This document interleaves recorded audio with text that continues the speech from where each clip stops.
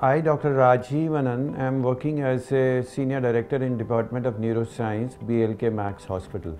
आज मैं आपसे एक ऐसी बीमारी के बारे में चर्चा करना चाहता हूँ जो हमारे समाज में बहुत सारी भ्रांतियों से ग्रसित है लेकिन मैं आपसे ये शेयर करता हूँ कि पिछले 40 सालों में जब से मैं मिर्गी के मरीजों को देख रहा हूँ हमने बहुत तरक्की की है जब मैंने शुरू किया था तो हमारे पास केवल दो ही दवाइयाँ थी और आज हमारे पास 20 से ज़्यादा दवाइयाँ हैं।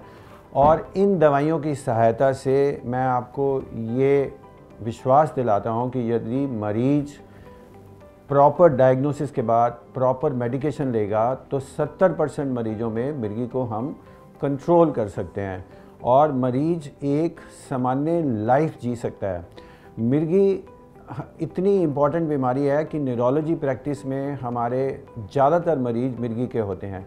और इसमें बीमारी के अलावा लोगों में जो इसके प्रति नेगेटिव एटीट्यूड है, हमें वो छोड़ देना चाहिए और उसके बारे में, इसकी ट्रीटमेंट के बारे में जो आधुनिक सुविधाएँ उपलब्ध हैं, उसकी सहायता से मरीज़ को पूरी ज़िंदगी नॉर्मल जीने के लिए सक्षम करना चाहिए। और ये मैं बताना चाहता हूँ कि यदि आप ठीक डायग्नोसिस कराएँ, उसके बाद ठीक दवाइयों के बारे में जानकारी हासिल करें और वो ठीक दवाइयाँ डॉक्टर द्वारा प्रिस्क्राइब की हुई जैसे लेनी चाहिए, वैसे रेगुलरली लें और पर्टिकुलरली अपने लाइफ स्टाइल पर ध्यान दें।